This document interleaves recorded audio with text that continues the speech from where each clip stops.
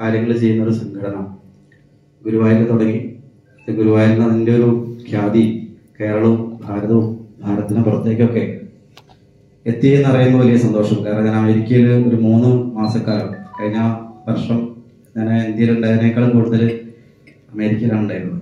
അമേരിക്കയിലെ മുഴുവൻ പ്രവിശ്യകളിലും മലയാളികളെ കാണാനും സനാതന ധർമ്മ പ്രചരണത്തിനും അതേപോലെ സൈക്കോളജി ക്ലാസ്സുകൾ എടുക്കാനൊക്കെ ഒരേ സമയത്ത് ഈ മനഃശാസ്ത്രവും ആധ്യാത്മികതയും ഒരേപോലെ കൊണ്ടുപോകാൻ പറ്റുന്ന ഒരു യാത്രയെ ഞാൻ പലപ്പോഴും പറയാറുണ്ട്. ഈ മുടി അയച്ചിട്ടാൽ ആധ്യാത്മിക ആചാര്യൻ മുടി മോളിലേക്ക് കിട്ടിയ സൈക്കോളജിസ്റ്റ് അങ്ങനെയാണ് തിരിച്ചറിയണം. രണ്ടും ഞാൻ തന്നെയാണ് അപ്പോൾ വീഡിയോയിലൊക്കെ നോക്കുമ്പോൾ ഞാൻ എടുക്കുന്ന ക്ലാസ് ആധ്യാത്മികമാണോ അത് സൈക്കോളജി ആണോ പറയാനുള്ള ടെക്നിക്ക് ഞാൻ ആർക്ക് പറഞ്ഞു കൊടുക്കില്ല ഞാൻ നിങ്ങൾക്ക് വേണ്ടി പറഞ്ഞുതരാം. മുടി ഇങ്ങനെ മോളിലേക്ക് കിട്ടിയ സൈക്കോളജിസ്റ്റ് അയച്ചിട്ടാൽ പിന്നെ ആധ്യാത്മിക ആചാര്യൻ. പലപ്പോഴും എനിക്ക് ഇവിടെയൊക്കെ രവിയേട്ടൻ പറഞ്ഞോണം അത്യാവശ്യം മന്ത്രവാദമൊക്കെ ആയിട്ട് നടക്കുന്ന സമയത്ത്. പലപ്പോഴും എനിക്ക് എന്നെ പരിചയപ്പെടുത്താൻ ഞാനൊരു സൈക്കോളജിസ്റ്റ് ആണ് എന്ന് പറയുന്നതിൽ ഭയങ്കര അഭിമാനം ഉണ്ടായിരുന്ന ഒരാളാണ്. ആരെങ്കിലൊക്കെ എന്താ ചെയ്യുന്നതെന്ന് വെച്ചാൽ ഞാൻ പറയാൻ സൈക്കോളജിസ്റ്റാണ് അപ്പൊ സൈക്കോളജിസ്റ്റിന് ഭയങ്കര ഒരു ഒരു പ്രാധാന്യം എല്ലാവരും തരും എന്നൊക്കെയുള്ള ഒരു വിശ്വാസത്തിലും ഇവിടെ പല സ്ഥലത്തും ഉണ്ടായ ഒരു അനുഭവത്തിന്റെയും വെളിച്ചത്തിലാണ് ഞാനിപ്പോ പറഞ്ഞിരുന്നത്. പക്ഷെ വലിയൊരു അനുഭവം ഉണ്ടായിരുന്നു. കഴിഞ്ഞ പ്രാവശ്യം വാഷിങ്ടണിൽ വെച്ചിട്ട് ഞാനൊരു മഹാമേരു ഞാൻ ദിവസവും ശ്രീചക്ര പൂജ ചെയ്യും തുടങ്ങാതെ ഞാനൊരു മഹാമേരു കൊണ്ടെടുക്കും പൂജ ചെയ്യാൻ വേണ്ടിയിട്ട്. വാഷിങ്ടണിൽ എത്തിയ സമയത്ത് അവിടുത്തെ കസ്റ്റ എന്താ? നമ്മുടെ കസ്റ്റംസ് പിടിക്കേണ്ടത് ഇതെന്താ സാധനം എന്നൊക്കെ അറിയില്ല ഒരു പ്രത്യേക രൂപത്തിലുള്ള ഒരു സാധനം അങ്ങനെ അതെന്താണെന്ന് അറിയാത്തതുകൊണ്ട് ഇവരെ പിടിച്ചുകൊണ്ടുപോയി പിടിച്ചുകൊണ്ടുപോയെന്നല്ല സ്ഥലത്തേക്ക് കൊണ്ടുപോയി പെട്ടിയൊക്കെ പരിശോധിച്ച് അതെന്താ സാധനം എന്ന് വെച്ചു ഇവർ പറയുന്ന ഭാഷ നമുക്ക് പെട്ടെന്ന് മനസ്സിലാവില്ല. നമ്മളിവിടെ വാസ് വേറൊക്കെ നോട്ടല്ല ഗ്രാമറൊക്കെ ഉണ്ടോ എന്നൊക്കെ നോക്കുന്ന ആൾക്കാരാണ്. ഇവർക്ക് ഒരു ഗ്രാമറും ഇല്ലാത്ത ആൾക്കാരവർ അപ്പം അത് മനസ്സിലാവട്ടെ. അപ്പം ഞാനവരോട് പറഞ്ഞതിന്റെ ഉപാസന വസ്തുവാണ് എന്നൊക്കെ പറഞ്ഞിട്ട് മനസ്സിലാവുന്നില്ല. അവസാനം എനിക്ക് തോന്നി ഗൂഗിൾ ചെയ്തിട്ട് കാണിച്ചു കൊടുക്കാം അങ്ങനെ ഞാൻ ഒരു ഗൂഗിളിൽ സെർച്ച് ചെയ്തിട്ട് ഒരു ശ്രീചക്രത്തിന്റെ ഫോട്ടോ ഒക്കെ എടുത്ത് കാണിച്ചു ഇതാണ് സാധനം എന്ന് പറഞ്ഞു. അവർക്ക് അപ്പോഴും മനസ്സിലായില്ല. അവർ നല്ല ഗൂഗിൾ അവരെ കയ്യിലെ ഗൂഗിൾ ലെൻസ് ഈ ശ്രീചക്രം ഒന്ന് നോക്കിയ സമയത്ത് പിന്നെ കണ്ടത് ഭയങ്കര അത്ഭുതമാണ്. എല്ലാവരും വരുന്നു. വളരെ ബഹുമാനത്തോടുകൂടി ചോദിക്കുന്നു അത് ഞങ്ങൾക്ക് തൊടാൻ പാടുണ്ടോ? ചോദിക്കുന്നു. പിന്നെ അങ്ങോട്ട് ശ്രീചക്രത്തിനെ കുറിച്ച് സംസാരിക്കുക. അവിടെയാണ് മനസ്സിലായത് അമേരിക്കയിൽ മലയാളികളുടെ ഇടയിലല്ല വിദേശികളുടെ ഇടയിൽ ഈ മഹാമേര് എന്താ നമ്മൾ പറഞ്ഞു കൊടുക്കേണ്ട ആവശ്യമില്ല. എനിക്ക് അറിയുന്നതിനേക്കാൾ എത്രയോ കൂടുതൽ ഈ വിഷയത്തെ കുറിച്ച് അവർക്കറിയാം. അവിടെയാണ് ഞാൻ വിവരക്കേടിന് ആദ്യം ഞാൻ സൈക്കോളജിസ്റ്റ് ആണ് എന്ന് പറഞ്ഞത്. അപ്പൊ അയാൾ പറഞ്ഞത് നിങ്ങൾ ഇതൊക്കെ പ്രാക്ടീസ് ചെയ്യുന്ന ആളാണോ? വലിയ റെസ്പെക്റ്റോട് കൂടിയാണ് അവർ പിന്നീടുള്ള സമയങ്ങളോട് പെരുമാറിയിട്ടുള്ളത്. അവിടെയാണ് ഭാരതത്തിലെ ആചാര അനുഷ്ഠാനങ്ങൾക്കും പദ്ധതികൾക്കൊക്കെ വിദേശത്തുള്ള ഒരു കാഴ്ചപ്പാട് എന്താണ് എന്ന് മനസ്സിലായത് രണ്ടാമത്തെ അനുഭവമാണ്.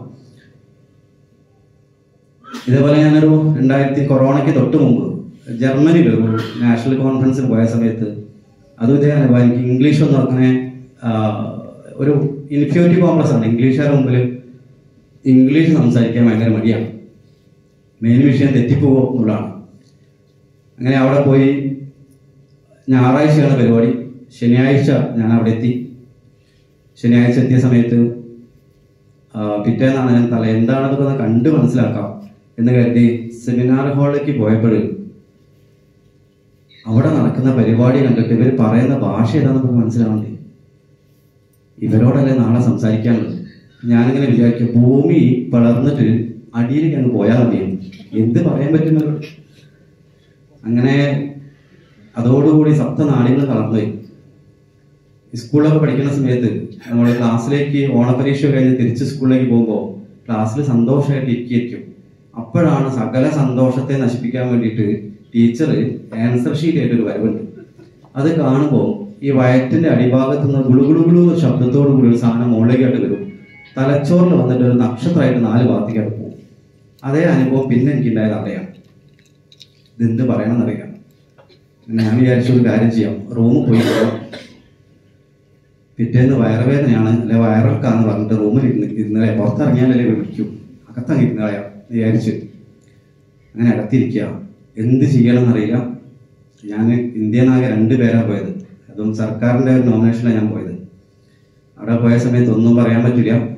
അങ്ങനെ വൈകുന്നേരമായി ഡിന്നറാണ് അവിടുത്തെ മെയിൻ വിഷയം. അതിന്റെ ഇടയ്ക്ക് ഞാൻ ഹോട്ടലിൽ വെള്ളം കുടിക്കാനില്ല അവിടെ.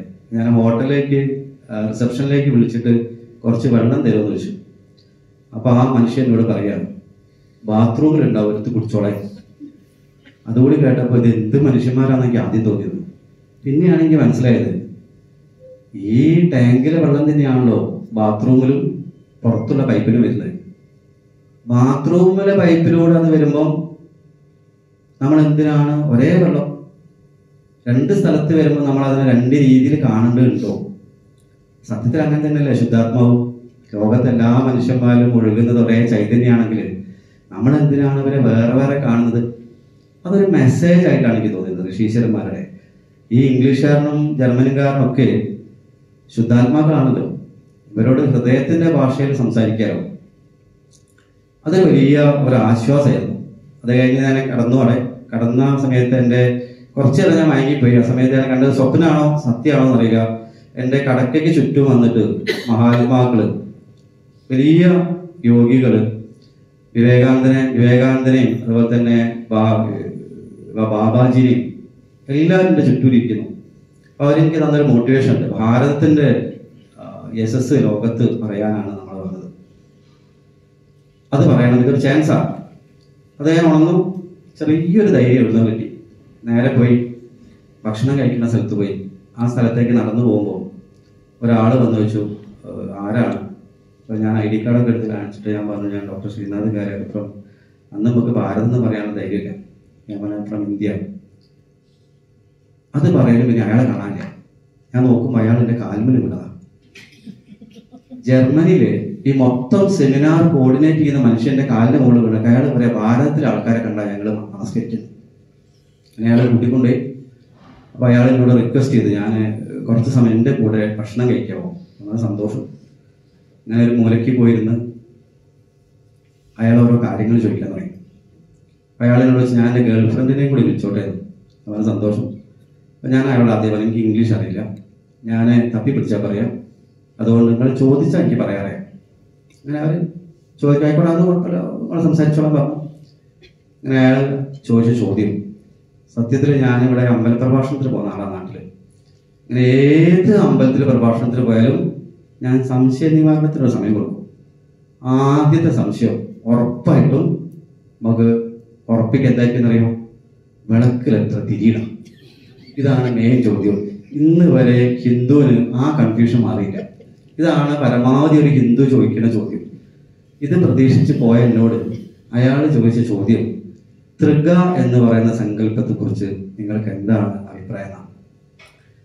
എന്നാണ്. ഒരു സാധനം ഇവിടെ കേട്ടിട്ട് പോകുന്നില്ല ഞാൻ എന്റെ ഭാഗ്യത്തിന് അതിന്റെ ഒരു ഒരു മാസം മുന്നേ വിജ്ഞാന ഭൈരവ തന്ത്രത്തിന്റെ വ്യാഖ്യാനം എന്റെ ഒരു സുഹൃത്ത് എഴുതുന്ന സമയത്ത് അതിന്റെ ഭാഗമായിട്ട് കാശ്മീര ശൈവതന്ത്രം പഠിച്ചപ്പോഴാണ് തൃകയെ കുറിച്ച് ഞാൻ കേൾക്കുന്നത്.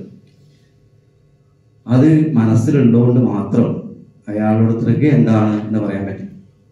അത് മാത്രമല്ല ഈ പശു പാശം പതി എന്ന് പറയുന്ന ഒരു സങ്കല്പമാണ് ആ സമയത്ത് അത് തന്നെയാണ് പിതാവും പുത്രനും പരിശുദ്ധ പരിശുദ്ധാത്മാവും എന്നുള്ള രീതിയിൽ യേശുദേവൻ അവതരിപ്പിച്ചത് എന്ന് പറഞ്ഞപ്പോൾ ഗ്ലോബലി ഭാരതത്തിന്റെ ഒരാശയം ലോകം മുഴുവൻ എങ്ങനെയാണ് എത്തിയത് എന്നുള്ളൊരു കാഴ്ചപ്പാടുണ്ട് അത് കഴിഞ്ഞ് രണ്ട് പേരെയും കൂടി അയാൾ വിളിച്ചു മൂന്ന് പേര് വിളിച്ചു.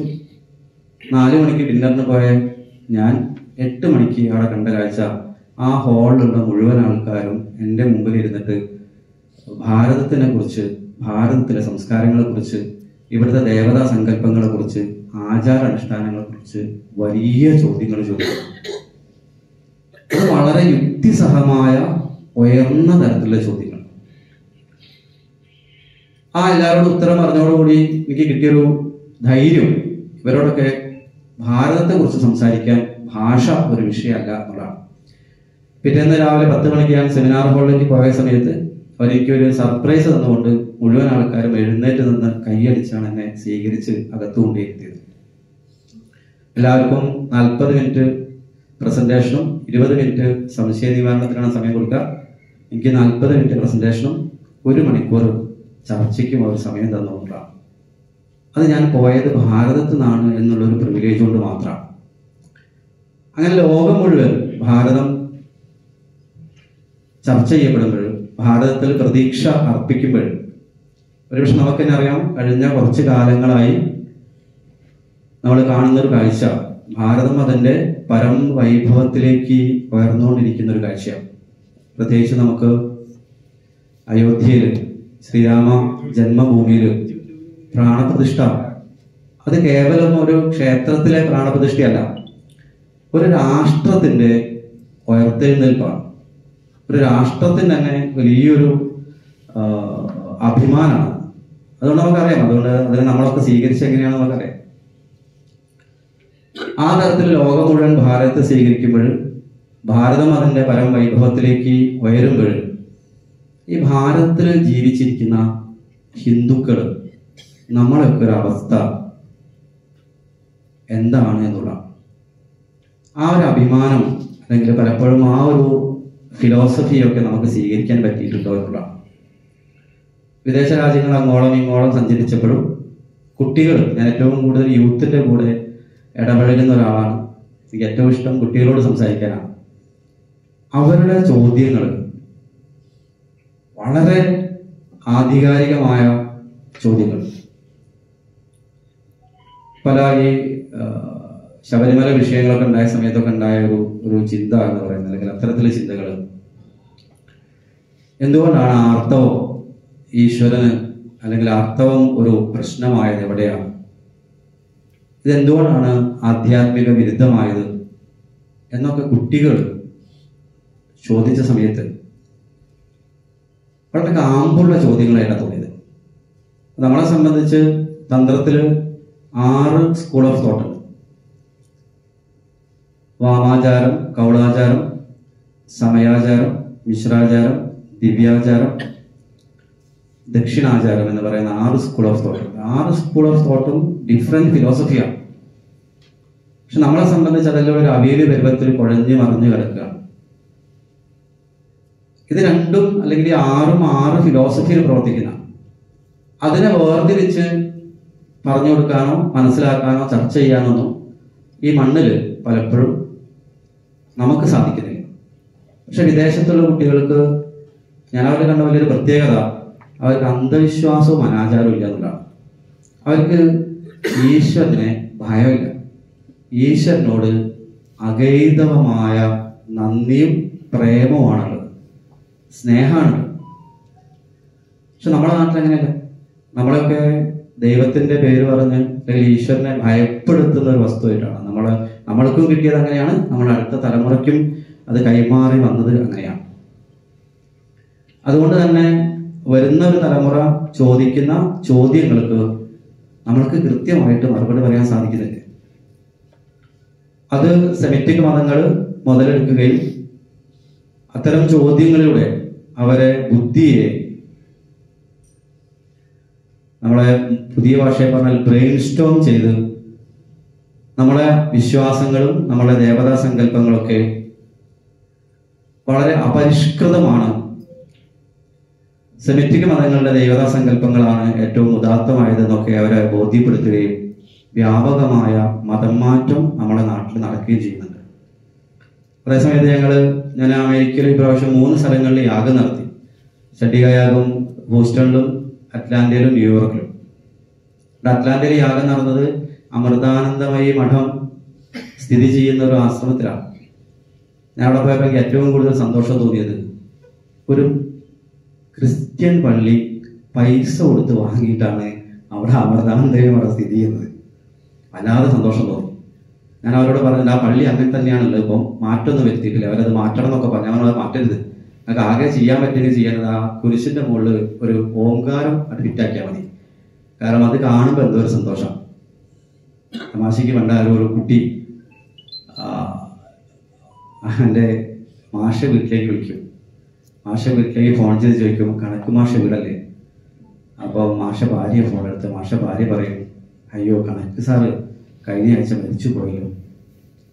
അത് കഴിഞ്ഞ് രണ്ട് മണിക്കൂർ കഴിഞ്ഞ് കുട്ടി കുട്ടി വീണ്ടും വിളിക്കും ഹലോ കണക്ക് സാറ് വീടല്ലേ അപ്പോൾ ആ ചേച്ചി പറയും നിന്നോട് ഞാൻ കുറച്ചു മുമ്പ് പറഞ്ഞില്ലേ കണക്ക് സാറ് മരിച്ചു പോയത് വൈകുന്നേരം കുട്ടി വീണ്ടും വിളിക്കും എന്നിട്ട് ചോദിക്കും അല്ല കണക്ക് സാറ് ഇവിടെ അല്ലെന്ന് ആ ടീച്ചർ ആ ചേച്ചി ദേഷ്യത്തോടു കൂടി എന്നോട് മലയാളത്തിൽ മൂന്ന് പ്രാവശ്യമല്ലേ പറഞ്ഞു കണക്ക് സാർ മരിച്ചു എന്ന് അപ്പൊ കുട്ടി അല്ല അത് കേൾക്കുമ്പോൾ എന്തോ ഒരു മനസ്സുഖം ഉണ്ടാവും.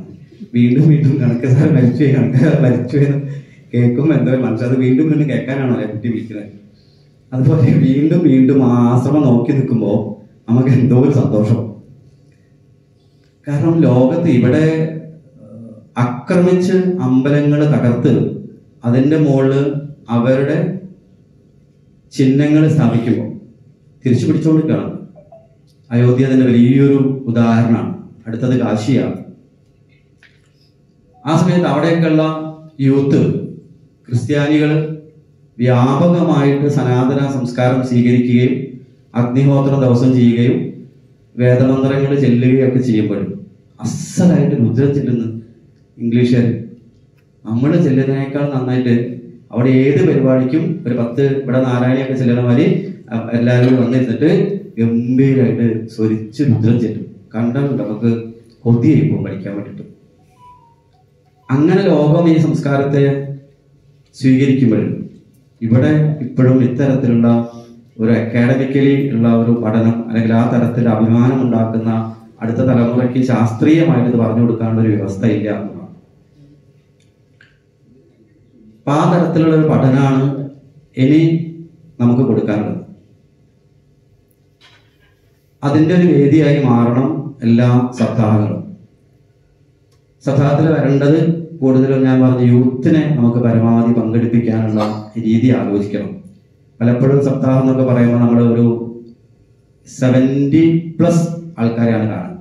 അല്ല ഒരു സിക്സ്റ്റി പ്ലസ് ആൾക്കാർ ഞാനൊക്കെ കുട്ടിക്കാലത്ത് ഒരു ഉപാസനയ്ക്കൊക്കെ അന്വേഷിച്ച് നടക്കുമ്പോൾ എന്റെ അച്ഛനും അച്ഛൻ പറഞ്ഞിട്ടില്ല അമ്മയടക്കമുള്ള എന്റെ കുടുംബത്തിലെ ആൾക്കാരൊക്കെ എന്നോട് ചോദിച്ചത് നിനക്ക് ഇതിന് മാത്രം പ്രായമൊന്നും ആയില്ലല്ലോ എന്നാണ്. നാട്ടിലെ ആൾക്കാരെ ധാരണ സപ്താഹം കേട്ടവര് അറുപത് വയസ്സ് കഴിയണം നീ എന്തിനാണ് ഇപ്പോഴേ ഈ സ്പിരിച്വൽ ആക്ടിവിറ്റിക്ക് പോകുന്നത്? അത് കുടുംബജീവിതമൊക്കെ കഴിഞ്ഞതിന് ശേഷമല്ലേ? ഇങ്ങനെ ഒരു ചിന്തയാണ് നമ്മുടെ നാട്ടിലെ ആൾക്കാർക്കുള്ളത് പലപ്പോഴും എന്റെ ക്ലിനിക്കിൽ രണ്ട് തരം ആൾക്കാരെയും കൊണ്ട് കുട്ടികളെ ഈ സൈക്കോളജിയും സ്പിരിച്വാലിറ്റിയും ഒരേപോലെ കൈകാര്യം ചെയ്യുന്നുണ്ട്. അങ്ങനത്തെ കേസൊക്കെ കൊണ്ടുവരും. ഒരു കാലത്ത് ചില അമ്മമാർ കുട്ടീനെ കൊണ്ടുവരിക. സാറേ എന്റെ മോൻ ലവലേശം വിശ്വാസമല്ല അവൻ എങ്ങനെയെങ്കിലും ഈശ്വര ചിന്ത വിചാരം അവനിൽ ഉണ്ടാക്കിയെടുക്കണം. അങ്ങനെ അവനെ കൊണ്ടുവരും. അത്യാവശ്യം സംസാരിക്കും. ചെറിയൊരു ഈശ്വര ബോധമൊക്കെ കുട്ടിക്ക് ഉണ്ടാവും. അവൻ ഭസ്മൊക്കെ തൊടാൻ തുടങ്ങും. കുറിയൊക്കെ തൊടാൻ തുടങ്ങും. പുസ്തകങ്ങൾ വാങ്ങി വായിക്കാൻ തുടങ്ങും. അപ്പൊ അമ്മയ്ക്ക് പേടിയും. അതേ കുട്ടീനെ കൊണ്ട് അമ്മ കൊണ്ടുവന്ന് സാറേ ഇപ്പൊ എന്റെ ആധ്യാത്മിക ലേശം ഒന്ന് കുറച്ചിരുമോ ഒറ്റ മോനെ ഉള്ളൂ കൈവിട്ട് പോകുന്ന കേസാണ് ഇവൻ പോയാൽ ഞങ്ങൾ എന്താ ചെയ്യാനാ? ഞാൻ ചോദിക്കും ഇതൊരു മീഡിയ ലെവലിൽ നിർത്താൻ പറ്റുന്ന സാധനമാണ്? സ്പിരിച്വാലിറ്റി എന്ന് പറയുന്ന ഒരു സാധനത്തിലേക്ക് നമ്മൾ കയറിയാൽ അത് സർവസമൃദ്ധിയെ തരുന്നതാണ്. തരുന്ന നിങ്ങൾ ഈ സപ്താഹം കേൾക്കേണ്ടത് തൊണ്ണൂറ് വയസ്സാകുമ്പോഴല്ല. നിങ്ങൾ ഗീത പഠിക്കേണ്ടത് എഴുപത് വയസ്സിലല്ല. നിങ്ങൾ നാരായണീയം പഠിക്കേണ്ടത് അറുപത് വയസ്സിലല്ല. പത്താം ക്ലാസ് പഠിക്കുന്ന സമയത്ത് നാരായണീയവും ഗീതയും ഭാഗവതവും കേട്ടാൽ അവന്റെ ലൈഫ് മറ്റൊരു തലത്തിലേക്കായിരിക്കും അവളുടെ ജീവിതം മറ്റൊരു തരത്തിലേക്ക് മാറും. അത് ആ രീതിയിൽ പഠിപ്പിക്കണം. ഒരുപക്ഷെ നമ്മൾ ഈ കഥകൾ അല്ലെങ്കിൽ പുരാണങ്ങൾ തന്നെ പറയുന്ന സമയത്ത് പല വിഷയങ്ങളും കുട്ടികളുടെ യുക്തിക്ക് യോജിച്ചു പോകുന്നതല്ല. അപ്പൊ അവർ ചോദിച്ചു ആ സമയത്ത് പൊരുത്തം കെട്ടവൻ എന്ന് നമ്മൾ പറയുന്നത് സത്യത്തിൽ നമുക്കതിന് പറയാൻ ഉത്തരമില്ലാത്തതുകൊണ്ടാണ് ആ ഒരു അറിവില്ലായ്മയെ നമ്മളുടെ അറിവില്ലായ്മയെ സെമിറ്റിക് മതങ്ങൾ ശക്തമായിട്ട് ഉപയോഗിക്കുന്നുണ്ട്. ഇപ്പൊ നമുക്ക് ഈ വാട്സപ്പ് യൂണിവേഴ്സിറ്റി ഇപ്പൊ അങ്ങനെയാണല്ലോ പറയുക. വാട്സപ്പ് യൂണിവേഴ്സിറ്റി എന്നൊക്കെയാണ് പറയുമ്പോൾ യൂട്യൂബ് യൂണിവേഴ്സിറ്റി അറിവിന്റെ കേന്ദ്രം വാട്സപ്പും ഇതൊക്കെയാണ് ഇതിലാണല്ലോ നമ്മൾ പഠിക്കുന്നതൊക്കെ. അപ്പൊ അതിൽ പലതരത്തിൽ ഇത്തരത്തിലുള്ള ചിന്തകൾ ഫേസ്ബുക്കിൽ അവിടെ തൃശ്ശൂരുള്ള ഒരു എം എൽ എ. പറയേണ്ടത് വേറെ പേരാണ്. പക്ഷേ പൈതൃകത്തിന്റെ സ്റ്റേജ് ആയതുകൊണ്ട് ഒരു മഹാത്മാവ് എന്ന് പറയാം.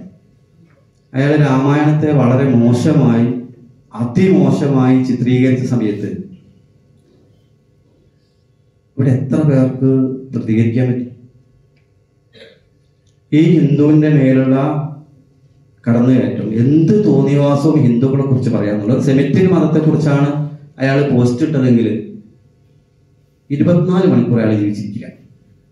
അതിന് കയ്യോ കാലം കിട്ടും എന്ത് തോന്നിവാസവും പറയാൻ പറ്റുന്ന പ്രതികരണ ശേഷിയില്ലാത്ത പശുത്വമുള്ള ഒരു ജനതയായിട്ട് എവിടേക്കോ നമ്മൾ മാറുന്നത് അതിന് കാരണം എന്താണെന്ന് വെച്ചാൽ അവനവന്റെ സംസ്കാരത്തെക്കുറിച്ച് അറിവില്ലായ്മ കൊണ്ടാണ് അറിവുണ്ടാകുമ്പോൾ നമുക്ക് അഭിമാനം ഉണ്ടാവും. ഞാൻ മുമ്പ് പറഞ്ഞിട്ടുണ്ടോ അറിയില്ല. പലപ്പോഴും കേരളത്തിൽ ഹിന്ദുക്കൾ ബസ് വാങ്ങിയാൽ കണ്ട പെട്ടെന്ന് മനസ്സിലാവുന്ന കാരണം മുമ്പിൽ ഒരു ഫോട്ടോ ഫ്രെയിം ചെയ്ത് വെക്കും. അതിനകത്ത് സൂക്ഷിച്ചു നോക്കിയാൽ ഇടത്ത് ഭാഗത്ത് ഒരു യേശുക്രിസ്തു ഉണ്ടാവും വലത്ത് ഭാഗത്ത് ഒരു പള്ളിയുടെ ചിത്രം ഉണ്ടാവും. ഇതിന്റെ രണ്ടിന്റെ നടുക്ക് ഒരു ഗണപതി അയ്യോ അമ്മേ രക്ഷിക്കണേ എന്നൊക്കെ ഉള്ള ഭാവത്തിൽ ഞെങ്ങി എങ്ങനെയൊക്കെയോ അങ്ങനെ ഇരിക്കുന്നതാണ് ഇത് കണ്ടാൽ നമ്മൾ ഉറപ്പിക്കണം. എന്ത്? ഹിന്ദു ബസ് വാങ്ങിയാണ്. ക്രിസ്ത്യാനി ബസ് വാങ്ങിയിട്ട് ഗണപതിനെ വെച്ചില്ല ഇസ്ലാം ബസ് വാങ്ങിയാലും യേശു ക്രിസ്തുവിനെയും ഗണപതിനെ വെക്കല്ല അവരവരുടെ ചിഹ്നങ്ങൾ മാത്രമേ വയ്ക്കൂ അതിന് അവർക്ക് അഭിമാനമുണ്ട്. ഇത് എന്റെതാണ് എന്ന് പറയാനുണ്ട് പക്ഷെ ഹിന്ദുവിനെ നഷ്ടപ്പെട്ടത് നമ്മളതിനെ പറയുക ചുരുക്കത്തിൽ നമ്മളതിന് പേരിട്ടത് ഇത് മതേതരത്വമാണ് നമ്മൾ പറയാം.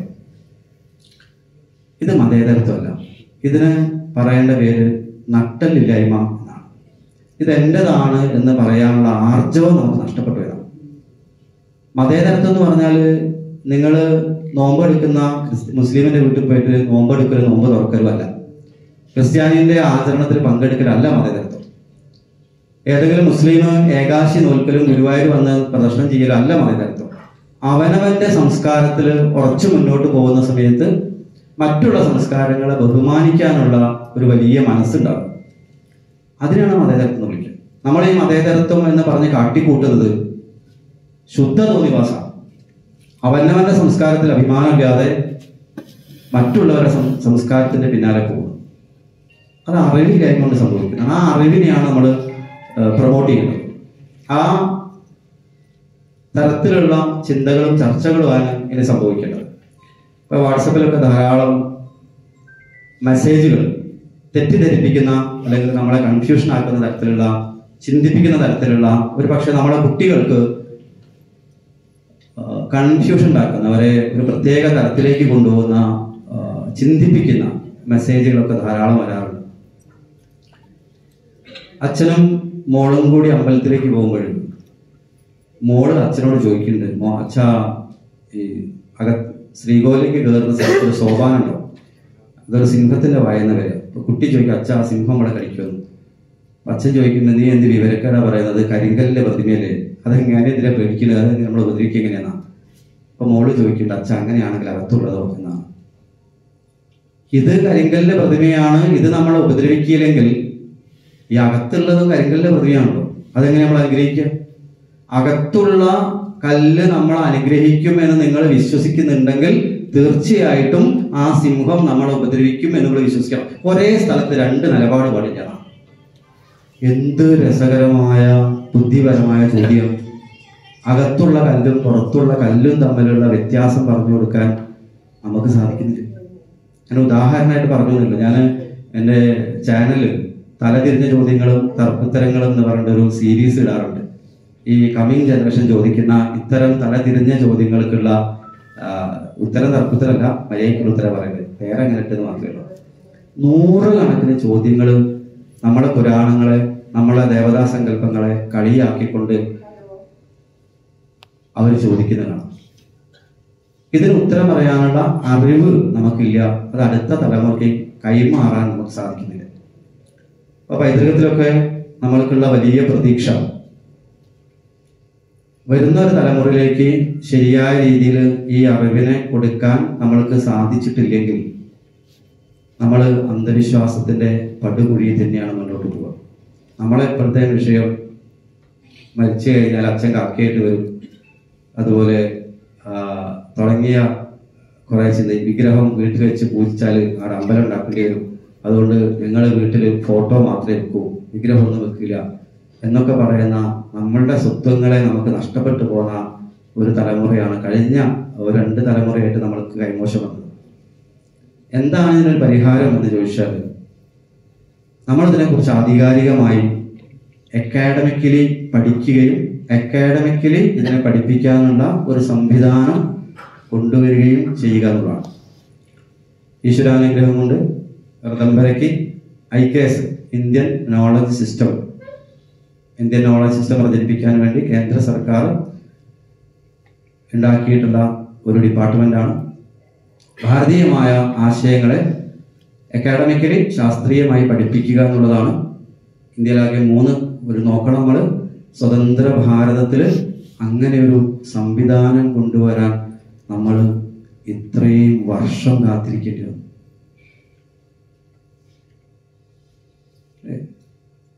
ഒരു പൗരൻ പൗരനെ കുറിച്ച് വിവേകാനന്ദൻ അമേരിക്കയിലെ ചിക്കാഗോ പ്രഭാഷണം കഴിഞ്ഞ് ചെന്നൈയിൽ ഇരിക്കുന്ന സമയത്ത് വിവേകാനന്ദനോട് എല്ലാവരും പോയി പറയുന്നു നിങ്ങൾ ഇന്ത്യയ്ക്ക് സ്വാതന്ത്ര്യം വേണം നിങ്ങൾ ഐക്കണായിട്ട് മുമ്പിൽ നിൽക്കണം. അപ്പൊ വിവേകാനന്ദൻ രൂക്ഷമായി ചോദിക്കുന്നുണ്ട് സ്വാതന്ത്ര്യമോ അതായത് ഇന്ത്യയ്ക്ക് സ്വാതന്ത്ര്യമുണ്ട്. വിവേകാനന്ദൻ പറയും നിങ്ങൾ ആദ്യം പൗരനെ സൃഷ്ടിക്കും. പൗരനെ സൃഷ്ടിച്ചിട്ട് സ്വാതന്ത്ര്യം കിട്ടിയിട്ട് കാര്യമുള്ളൂ ആ പോയ ആൾക്കാർക്ക് അത് മനസ്സിലായിട്ടില്ല. അതുകൊണ്ട് എന്താ സംഭവിച്ചത്? സ്വാതന്ത്ര്യം കിട്ടി വെള്ളക്കാരെ കയ്യിൽ നിന്ന് കൊള്ളക്കാരെ കയ്യിലേക്ക് വളർന്നു പോയി. വേറെ വ്യത്യാസം ഉണ്ടാക്കിയ സ്വാതന്ത്ര്യം കിട്ടി ഇത്രയും വർഷം കഴിയേണ്ടി വന്നു. വിവേകാനന്ദൻ പറഞ്ഞ ഒരു പൗരനെ നമ്മൾ കാണാൻ വേണ്ടിയിട്ട്. പൗരൻ എന്ന് പറയുന്നത് രാഷ്ട്രബോധമുള്ള രാഷ്ട്രത്തിന് വേണ്ടി ചിന്തിക്കുകയും പ്രവർത്തിക്കുകയും ചെയ്യുന്ന ഒരാളാണ്. നമ്മൾ ഇത്രയും കാലത്തെ പ്രധാനമന്ത്രിമാരിൽ രാഷ്ട്രം എന്ന സങ്കല്പത്തെ വളർത്തിപ്പിടിച്ച് പ്രവർത്തിച്ച ആൾക്കാർ നമുക്കറിയാം. അതിനേക്കാൾ എത്രയോ വലുതാണ്. കഴിഞ്ഞ ഒരു പത്തോ പതിനഞ്ചോ പത്ത് വർഷം കൊണ്ട് ഭാരതത്തിലുണ്ടായ ഒരു വളർച്ച എന്ന് പറയുന്നത് ഭാരതം എന്ന് പറയുമ്പോൾ നമുക്ക് അഭിമാനം ഉണ്ടാവുന്ന മിനിമം ഇന്ത്യൻ പാസ്പോർട്ട് കയ്യിലുണ്ടെങ്കിൽ അറുപത്തിനാല് രാജ്യങ്ങളിൽ ഇപ്പൊ നമ്മൾക്ക് ഓൺ അറൈവൽ വിസയാണ് ചില്ലറ കാര്യമില്ല. അത് ഭാരതത്തിന്റെ ഒരു മഹിമയാണ്. ആ തലത്തിലേക്ക് കൊണ്ടുവരാൻ സാധിച്ചത് ഇപ്പോഴാണ്. ആ ഐ കെ എസിന്റെ ഒരു സെന്റർ ആകെ മൂന്ന് സെന്ററുകളാണ് ഭാരതത്തിലുള്ളത്. ഒരു സെന്റർ നമ്മൾക്ക് കമ്പരയിൽ സെന്ററായിട്ട് ലഭിച്ചു. അതിന്റെ കീഴിൽ ഇപ്പം ഈ തരം വിഷയങ്ങളൊക്കെ ഒരു ഗവേഷണ രീതിയാണ്. അക്കാഡമിക്കലി കാശ്മീര ശൈലതന്ത്രം ഭാരതീയ കേരളീയ തന്ത്രശാസ്ത്രം ജ്യോതിഷം വാസ്തുശാസ്ത്രം തുടങ്ങിയ വിഷയങ്ങൾ അക്കാഡമിക്കലി പഠിപ്പിക്കാൻ നമ്മൾക്കൊരു ചാൻസ് കിട്ടി. നമ്മൾ ആദ്യം എടുത്ത വിഷയം കാശ്മീര ശൈവം പഠിപ്പിക്കാനാണ്. ശൈവ പദ്ധതി. നിർഭാഗ്യവശാൽ ഈ കാശ്മീര ശൈവം പഠിപ്പിക്കണമെങ്കിൽ ഒരു കോഴ്സ് ഉണ്ടാക്കിയിട്ട് അതിന്റെ സിലബസ് പാസ്സാക്കണമെങ്കിൽ അതിനൊരു സ്കോളർ വേണം. കാശ്മീര ശൈവത്തിൽ ഇന്ത്യയിൽ ഒരൊറ്റ സ്കോളേഴ്സ് ഇല്ല ആകെ ഒരു സ്കോളർ തപ്പി പിടിച്ച് പോയപ്പോൾ അത് അലക്സ് ആൻഡിസൺ എന്ന പേരുള്ള ഒരാളാണ്. അയാൾ ഓക്സ്ഫോർഡ് യൂണിവേഴ്സിറ്റിയിലെ വൈസ് ചാൻസലറാണ്. ആ മനുഷ്യൻ ഭാരതത്തിൽ വന്ന് ഏഴ് വർഷം ലക്ഷ്മൺജി മഹാരാജാവിന്റെ കൂടെ ഇരുന്ന സംസ്കൃതവും ഫിലോസഫിയും പഠിച്ച് അതിൽ സ്കോളറായ മനുഷ്യനാണ്. ഭാരതത്തിലെ ശാസ്ത്രങ്ങൾ പഠിക്കാൻ വേണ്ടി വിദേശികളെ ആശ്രയിക്കേണ്ട ഗതികേട് നമ്മൾക്കുണ്ട്. അമേരിക്കയിലെ എല്ലാ യൂണിവേഴ്സിറ്റികളിലും ഹിന്ദു യൂണിവേഴ്സിറ്റികളിൽ സനാതന സംസ്കാരം പഠിക്കാനുള്ള ഡിപ്പാർട്ട്മെന്റ് ഉണ്ട്. ആർക്ക് വേണമെങ്കിലും അവിടെ പോയിട്ട് സനാതന സംസ്കാരം അക്കാഡമിക്കലി പഠിക്കാം. അതിൽ സ്കോളേഴ്സ് ആവും നമ്മൾക്ക് എവിടെയാണ് ഈ സംവിധാനം ഉള്ളത്? കാലടിയിലൊക്കെ നമ്മൾ കണ്ടാണ് ശങ്കരാചാര്യ ഒരു പ്രതി ഒരു പ്രതിമ അവിടെ വെക്കാൻ വേണ്ടി നമ്മൾ ശ്രമിച്ചതും അതിന്റെ പേരിലുണ്ടായ പുകിലും. എവിടേക്കാണ് ഭാരതം പോകുന്നത് ഞാൻ ചോദിക്കില്ല. കാരണം ഭാരതം അതിനപ്പുറം കടന്നു. കേരളം എവിടേക്കാണ് പോകുന്നത്? ഇതിനെക്കുറിച്ച് നമുക്കൊക്കെ അറിയാം. എന്താണ് ഇതിന് പരിഹാരം? അതിനാകെ ഒരു വഴിയേ ഉള്ളൂ. ഇത്തരം ജ്ഞാനവേദികൾ സപ്താഹമായിക്കോട്ടെ നാരായണി ആയിക്കോട്ടെ ഇതൊക്കെ കുറച്ചുകൂടി ശാസ്ത്രീയമായിട്ട് യൂത്തിനെ കൊണ്ടുവന്ന് ചോദ്യോത്തരങ്ങൾ നടത്തി ഇത്തരം ചോദ്യങ്ങളൊക്കെ അവർ ചോദിക്കട്ടെ. കൃത്യമായി നമുക്ക് ചർച്ച ചെയ്ത് അറിയുന്ന ആൾക്കാർ ഉത്തരം പറയട്ടെ. അങ്ങനെ അഭിമാനബോധമുള്ള എല്ലാ ചോദ്യങ്ങൾക്കും ഉത്തരം പറയാൻ പറ്റുന്ന ഇതുപോലെ ഇനി മേലാതെ ഒരു മനുഷ്യന് ഇത്തരം വൃത്തികെട്ട പോസ്റ്റുകൾ എഫ് ബിയിൽ പോസ്റ്റാൻ ധൈര്യമില്ലാത്ത അവസ്ഥയിലേക്ക് പ്രതികരിക്കുന്ന ഒരു ജനതയായി അടുത്ത തലമുറയെ വളർത്തണം. നിങ്ങൾ ആ തലത്തിലേക്ക് വരും എന്നുള്ള പ്രതീക്ഷ എനിക്കില്ല. കാരണം ആ ശബ്ദത്തിൽ അവരോട് പ്രതികരിക്കാൻ ഒരു കമ്മിങ് ജനറേഷനെ പറ്റും. അത് ഭാഗ്യത്തിന് അങ്ങനെ കുറേ പേര് നമ്മളിടയിൽ വളർന്നു വരുന്നുണ്ട്. വലിയൊരു യൂത്തിന്റെ വലിയൊരു വിങ് നമ്മളിടയിൽ സജ്ജമായിക്കൊണ്ടിരിക്കുന്നുണ്ട് എന്നുള്ളത് സോഷ്യൽ മീഡിയയിൽ നിങ്ങൾക്ക് കാണാൻ സാധിക്കും. കൃത്യമായിട്ട് ഇതിനൊക്കെ മറുപടി പറയാൻ പറ്റുന്ന. അങ്ങനെ ഒന്നോ രണ്ടോ പേര് പോരാ. നൂറുകണക്കിന് പേര് ഈ ആർജവമുള്ളവരാവാൻ സനാതന ധർമ്മത്തെ സംരക്ഷിക്കാൻ വേണ്ടി. നിങ്ങളാരും സംരക്ഷി നമ്മളാരും സംരക്ഷിച്ചില്ലെങ്കിലും ഈ ധർമ്മം നശിക്കൊന്നുമില്ല. കാരണം ഇരുന്നൂറ് കൊല്ലം മുഗളന്മാർ തകർത്തിട്ടും ഈ സാധനം തകർന്നിട്ടില്ല. അവിടെ തകരൊന്നുമില്ല അത് ഉറപ്പാണ്. പക്ഷേ അത് നമ്മളുടെ ധർമ്മമായി നമ്മൾ ഏറ്റെടുക്കണം. അങ്ങനെ ധർമ്മത്തെ ആ ധർമ്മ ദേവതയെ ഉപാസിക്കുക ആർജവമുള്ളവരാവുക തപസ്സുള്ളവരായി മാറുക തേജസ്സുള്ളവരായി മാറുക സ്വന്തം സംസ്കാരത്തിൽ അഭിമാനമുള്ള ഒരു തലമുറ വളർന്നു വരേണ്ട സാഹചര്യം നമ്മൾ ഉണ്ടാക്കിയെടുക്കണം. അതാണ് ഇനി നമ്മൾ ചെയ്യേണ്ടത്. വളരെയധികം പ്രതീക്ഷ. പൈതൃകത്തിന്റെ പ്രവർത്തനത്തിൽ യുവതലമുറയ്ക്കുണ്ട്.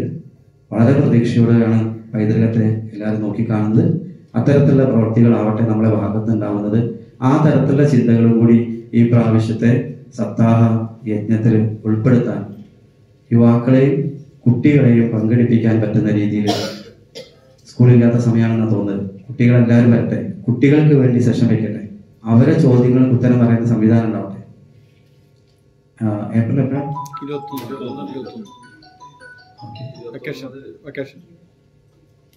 തീർച്ചയായിട്ടും ഞാൻ ഉണ്ടാവില്ല. നിർഭാഗ്യവശാൽ ഞാൻ ആ സമയത്ത് മാർച്ചും ഏപ്രിലും ഒക്കെ യു എസ് തന്നെയാണത് യു എന്റെ ഇതേപോലെ വലിയൊരു പന്ത്രണ്ട് ദിവസത്തെ സെമിനാർ ന്യൂയോർക്കിൽ നടക്കുന്നുണ്ട്. അതിൽ പങ്കെടുക്കാനുള്ളൊരു ക്ഷണം ലഭിച്ചിട്ടുണ്ട്. അതുകൊണ്ട് തീർച്ചയായിട്ടും ഞാൻ മാർച്ചും ഏപ്രിലും അവിടെ ആയിരിക്കും ഇവിടെ സപ്താഹത്തിൽ പങ്കെടുക്കാൻ പറ്റാൻ സാധ്യത കുറവാണ്. പക്ഷേ ഇവിടെ അത്തരത്തിലുള്ള ഒരുപാട് പേരുണ്ട്. അങ്ങനെ ഓരോ യുവാക്കൾ അല്ലെങ്കിൽ ഈ വളർന്നു വരുന്ന ഒരു തലമുറയെ കേൾക്കാനും പറയാനും ക്ഷണിച്ച് അത്തരത്തിലുള്ള അക്കാഡമിക്കൽ പർപ്പസ് ചർച്ച ഇതിന്റെ കൂടെ നടത്താൻ സാധിക്കുമെങ്കിൽ മറ്റ് സപ്താഹങ്ങളിൽ നിന്ന് ഇത് തുലവും വ്യത്യസ്തമായിരിക്കും എന്ന് മാത്രമാണ് അതിനോട് കൂട്ടിച്ചേർക്കേണ്ടത് വളരെ സ്നേഹത്തോടു കൂടി ഈ ഒരു പരിപാടിയിലേക്ക് എന്നെ ക്ഷണിച്ചതിന് അങ്ങേറ്റം അന്ന് എന്റെ എപ്പോഴും പൈതൃകം ഹൃദയത്തിന്റെ ഭാഗമായിട്ടുണ്ട്. ഇന്ന് ഒമ്പത് മണിക്ക് തിരിച്ച് കോഴിക്കോട് എത്തണം എന്നുള്ളതുകൊണ്ടാണ് അല്ലെങ്കിൽ ഞാൻ മുഴുവൻ പരിപാടി കഴിഞ്ഞ് ഇന്ന് ഇവിടെ താമസിച്ച് നാളെ പോവുകയില്ലായിരുന്നു. അങ്ങനെയായിരുന്നു ഷെഡ്യൂൾ പക്ഷേ പോകേണ്ട ഒരു അത്യാവശ്യമുള്ളതുകൊണ്ട് മാത്രമാണ് പോകുന്നത്. തുറന്ന പൈതൃകത്തിന്റെ എല്ലാ പരിപാടിയിലും സജീവമായിട്ട് കൂടെ ഉണ്ടാവും. അവർക്കൊക്കെ ഇത്രയും പ്രിയപ്പെട്ടവരാണ്. എന്നെ സംബന്ധിച്ച് ഗുരുവായൂരപ്പം കഴിഞ്ഞാൽ ഗുരുവായൂരപ്പം പൈതൃകമാണ് അപ്പൊ ആ രീതിയിൽ ഇവിടെ വരുമ്പോഴൊക്കെ ദേവീസംഘത്തിനെ എല്ലാവരെയും കാണാൻ സാധിക്കുന്ന വലിയ സന്തോഷമുള്ള കാര്യമാണ്. നേരത്തെ സ്വാഗത ഭാഷകൻ പറഞ്ഞതുപോലെ നന്മ ഉള്ളവരെ കണ്ട് കണ്ട് കണ്ട് കണ്ട് എന്റെ ഉള്ളിൽ കുറച്ച് നന്മ ഉണ്ടായി തുടങ്ങിയിട്ടുണ്ട് ഇപ്പോൾ. അത് നിങ്ങളെയൊക്കെ കാണുമ്പോഴാണ് അത് വർദ്ധിക്കുന്നത്. അതിന്റെ ക്രെഡിറ്റ് ഞാൻ എന്റെ ഉള്ളിൽ നന്മ ഉണ്ടെങ്കിൽ അതിന്റെ ക്രെഡിറ്റ് നിങ്ങളൊക്കെ ആയിട്ടുള്ള സത്സംഗവും സഹവാസവുമാണ്. അത് നിരന്തരം ഉണ്ടാവട്ടെ എന്ന് പ്രാർത്ഥിച്ചുകൊണ്ട് ധർമ്മദേവതയുടെ അനുഗ്രഹം നമ്മൾക്ക് എല്ലാവർക്കും ഉണ്ടാവട്ടെ. എന്ന് പ്രാർത്ഥിക്കുന്നു. നന്ദി നമസ്കാരം.